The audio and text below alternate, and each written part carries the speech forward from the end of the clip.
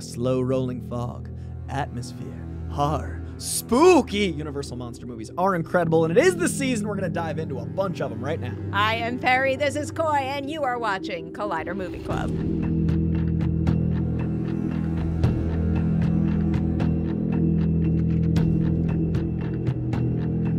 This episode of Collider Movie Club is a paid promotion brought to you by Movies Anywhere. Movies Anywhere is the app that brings together your favorite digital movies into one convenient place. And now a brand new feature called My Lists will let you organize and personalize your digital collection in two very cool new ways.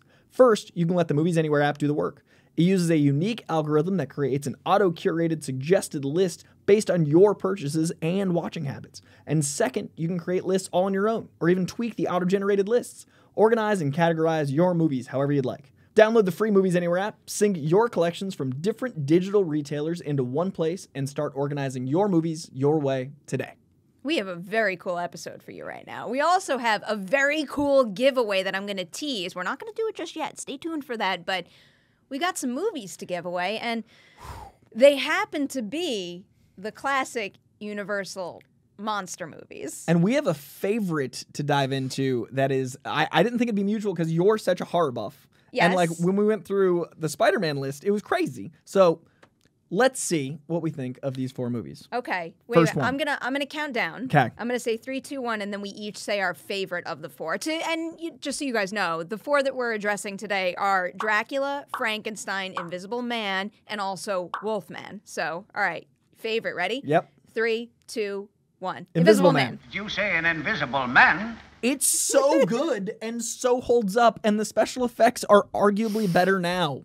Like they, to, to to look back at it, they feel better now because 90 years later, I see way less credible stuff in the theater. Well. This looks so good. It's so impressive. It's so atmospheric. You're so invested, and it's an anti-hero. Hero, like you're you're following a villain. part of me can kind of understand if someone out there is like, well, these effects aren't like the effects that we get today. Like that is a fair point. They're better. But I do think I think that the the effects, the blocking and the physicality just so well suits the tone of that movie. So I can't necessarily say it's dated and not good anymore because it plays together well with what the movie is. It and, felt and so tangible to me. Exploring. It's No, it like did. and like every time there was a moment, like a cutaway, like they just they know when to edit moments of just like horror and Yeah. terror, and it's so beautiful. I just love the exploration of that character too. Like the idea of because when you think about it, you know, if I don't want to say this really, but if you had the power of invisibility and you could do something with it, it would be difficult to block out the temptation to do things that you shouldn't be doing. Yeah. It's just a matter of knowing where to draw the line, and and uh, Griffin does not know where to draw the line, and he, he loses himself to that ability. An invisible man can rule the world. Nobody will see him come, nobody will see him go. He can rob and rape and kill.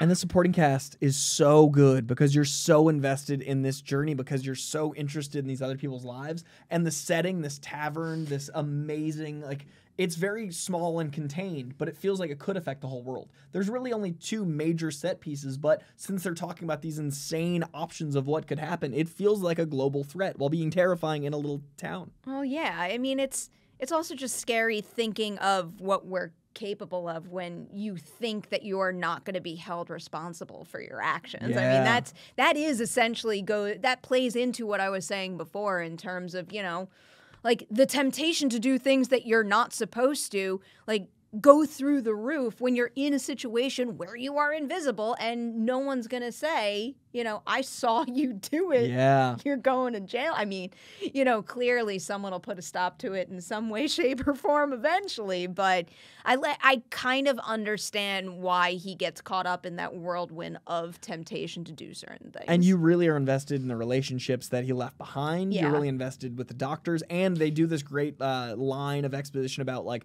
the dog and how the science came to be. And there's this like mad scientist aspect of it that doesn't feel unreal. Well, that's how this movie gets into, you know, those those real human qualities that we wrestle with often. It, you know, it shows you this, you know, ideal scenario where you essentially have a cool superpower, Yeah. but then it shows you what you're losing by abusing that power. So when you walk away from the movie, you get a pretty valuable lesson on where to draw the line with this stuff. And I love that there's some scenes that are like visually stunning, whether it's just like the cigarette scene or you know, like I said earlier in unwrapping, but also the voiceover Mm-hmm. work because so much of this is is captivating us up here so we're imagining what we're not seeing and there's something really spooky about someone wearing clothes over invisibility that like we intellectually know that someone like you or me has bandages around them but the entire time they sold me so well i'm like there's an invisible man wearing Yeah. a it, you're sold on this world One of my favorite parts of the movie is when he's like, like, here's a piece for you. Yeah. And you. And, you, and just the, the visual of seeing that? that piece by piece get revealed is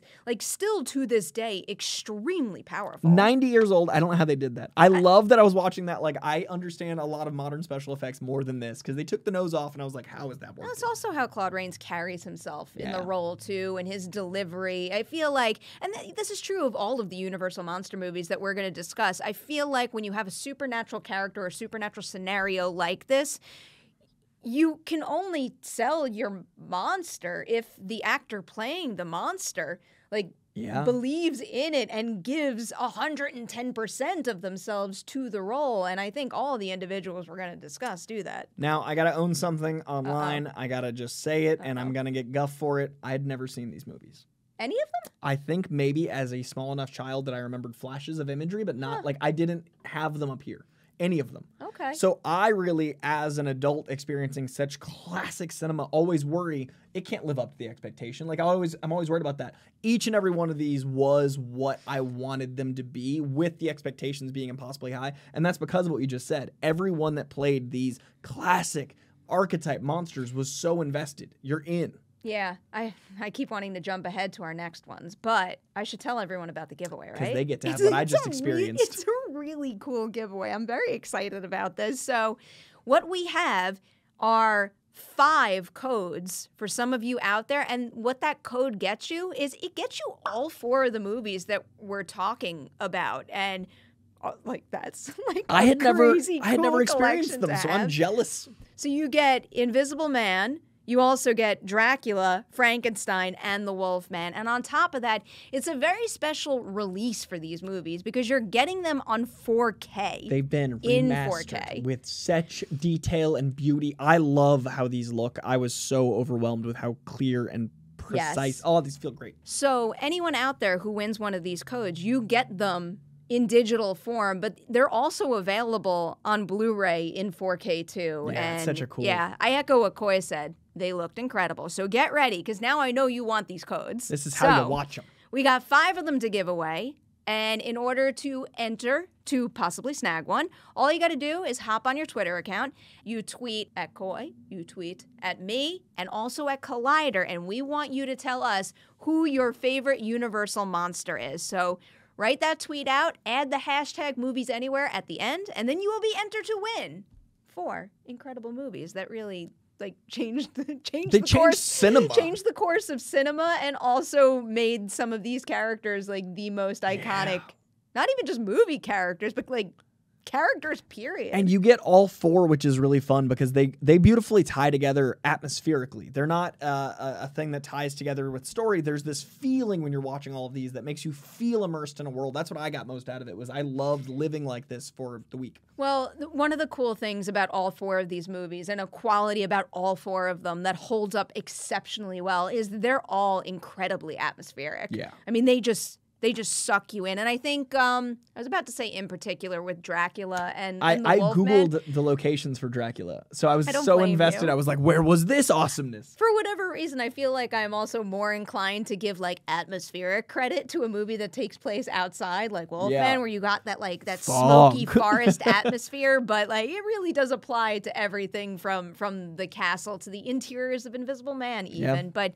that that production design and the way that they film all of these movies is something that is still just as good today as it ever was. Uh, we talk about Dracula because it its atmosphere to me, the scope of the castle and the different worlds within the castle. Like there was some put together, there was some in disrepair. There was so much interesting behind the scenes story in in movie. Like you wondered what was going on right before they started rolling in Dracula's life. You wondered like how we'd gotten to this point. There's so much backstory, and that's because Bela Lugosi is so Dracula. He's mm-hmm. so commanding of every frame he's in. you can totally do the look, can't you?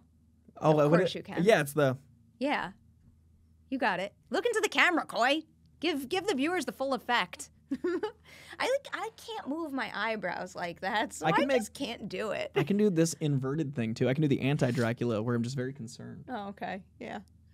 This is more fun. That that's one of the most wild things about his performance is that so much of it is just, just giving that look. And he's And he like commands at all times. When he like beckons her over and he's like this, I was like, I get it, Bela. It's it's so pa- it's just a look and it's so powerful. But even when it's going beyond that look, his his just general presence in the role and and the authority that he exudes is a big reason why his Dracula is such a commanding force in that movie and is a big reason why that Dracula is is scary too. Yeah. There's a scene where someone looks out the window and he's like, "There's a wolf running across the lawn." I was like, "I believe you." Like, I bought Bela Lugosi as a vampire so much, I was like, "Dude's probably a wolf right now." Like, I was so invested in his portrayal. And also, uh, to move on to the next one with Frankenstein, It's alive! It's alive! It's alive! It's alive! The amount of empathy, the amount of sorrow, the amount of sadness I felt for Frankenstein, I couldn't have prepared myself Talk for. about a good adaptation too. It's like Mary Shelley's source material is, is is a classic, but that's an example of where you take classic source material and you actually make something different, but powerful, like Yeah. extremely powerful with it in terms of what they did to Frankenstein's monster to make him a, different character, and it's. It's that sympathy that crushes me. I mean, I guess this is the cliche scene to point out, but like the scene with the little girl, like I've seen Frankenstein more times than I can count. Every single time I watch that scene and also the scene of him reaching up at the light, it just like my heart crumbles to pieces. I loved the old film stock for the black and white fire. The fire at the end looks so stunning and emotional because we've gone through this journey with Frankenstein. So the fire became its own character in, in this beautiful textured way. And that scene really spoke to me. And I, I don't know what it was, but I'd been on this journey with Frankenstein. Well, Frankenstein's monster. Let's be fair before the comments roll in. Frankenstein's monster. But I was on this journey with him. So I was invested in the flames that, that were involved with him. And, and I also love Dr. Frankenstein so much. He is such, he's having a ball. he is a proto Sam Rockwell. Colin Clive is excellent in that role. He- Yeah. he's great, and of course we have to mention how good Boris Karloff is Yeah, as. Frankenstein's mon. I mean, it's a similar thing to Bela Lugosi, where What so huge, huge. you know, there's there's a lot going on with that exceptional makeup, but it it really largely is about the way that he carries himself in the role that will convey the necessary fear in, you know, being face to face with such a brute force who is Yeah. capable of doing very dangerous, deadly things. But then at the same time, you need him to be able to exude that like that confusion and that hurt from Yeah. essentially being brought into the world against his will and having the capability of being able to interact and be a source of good, but not even being given the opportunity to be that because he's not treated fairly. and the whole Frankenstein family being the evil ones. Like there's so much malicious intent from the family Frankenstein, and he's just trying to survive. He's just not sure what he is, and he's going. And because of the physicality of Boris Karloff, Karloff he felt eight feet tall. Like there's so much where I'm like, how did they do this? Was this where the frame was set up staggered? Like it felt like there was this giant chunk of human being and that's so important for the story in the frame you really buy a hulking beast of a monster mm-hmm. and it's a guy with 30s makeup on and i'm so in i was so impressed by these movies this this is another one. Like I know we both love Invisible Man, but Yeah. this is Oh my one of my favorite of I'm the gonna watch classic these Universal constantly monster movies. like this changed my halloween tradition like this was so good it's got i know what's going to become my halloweens now Yeah, well, you own them. i do A whole bunch of other people out there could own them too. What do you think of Wolfman? Whoever is bitten by a werewolf and lives becomes a werewolf himself. I was so impressed with Wolfman's tension. I was so impressed with the fact that I was I was worried they wouldn't give us Wolfman until way late because I was worried about I was worried about budget because that's how my brain goes. I was like, they're not gonna be able to afford the. Wolfman because that's how I think of movies. And then immediately we're in, and immediately we've got tension. And then every time Wolfman comes back, it looks so much cooler than I was expecting. And you're so in the woods. And I think that's the best compliment I can give it. You're in the Yeah. woods with a wolfman and you're just so scared for everyone and you're so invested in the wolfman himself that you like want him to succeed, but you're also like these people shouldn't be murdered, but you're like but they kind of deserve it. Like it's so good. It, it really is, and I love I love the the prosthetics and the makeup design. Yeah. When it comes to the visual effects, though, to be completely honest, it's a little more of like an exciting quality of the movie to me that comes more from my appreciation of seeing VFX and in particular VFX as they pertain to werewolf transformations evolve over the years. I mean, we've seen some like wildly incredible things lately, but to see where it all started with those you Overlap know, fades. Yeah, the overlap fades on his feet and stuff like that. It's you know, and a lot of these movies that we're talking about were were the first of their kind back there. They I were mean, literally they overlapping wowed. film stock. They like they didn't have a computer because it was 32 to do an overlap fade. So this was amazing technology. The scene that really blew me away and a positive with the special effect was when he's leaning against the tree Yeah. and he starts to have the experience of figuring out what he is. There's like so much spiraling imagery and so much emotion in which clips they show and there's like him thinking back and it's just old old old camera tricks, but you're invested as much as you are with like a 200 million dollar movie. Yeah, it, it- like it, I still think it's very effective within the context of this movie, but then it, you know, it just like it fills my heart and it fills me with excitement Yeah. to be able to see what we have now, what it was standing upon, and what it started with. These were so good. I'm going to give more old movies a chance. I'm actually uh, problematic when it comes to like pre 60s movies. I just have a hard time. These, I was so invested in all four of these that I'm going to actually look at my own expectations because I loved these. I had If such a good time. If you need more classic monster movie recommendations, I've got some that come to mind. All right. That is it for this episode, but we must remind you that this episode of Collider Movie Club is a paid promotion brought to you by Movies Anywhere. Movies Anywhere's new My Lists feature gives you more ways to organize and personalize your digital collection than ever. You can either create lists all on your own or let Movies Anywhere do the work for you with a unique algorithm that creates suggested lists based on your purchase and watching habits. So, if you'd like to put the My List feature to use and possibly discover some great new movies in the process, simply download the free Movies Anywhere app, sync your collections from different digital retailers into one place, and start organizing your movies your way today. All right, we're out of here. We will see you very soon with another episode of Collider Movie Club. Do the eyebrows. I can't. We're gonna teach. They don't Perri, move. We're gonna teach Perri how to do the eyebrows. They don't move. We're gonna get there.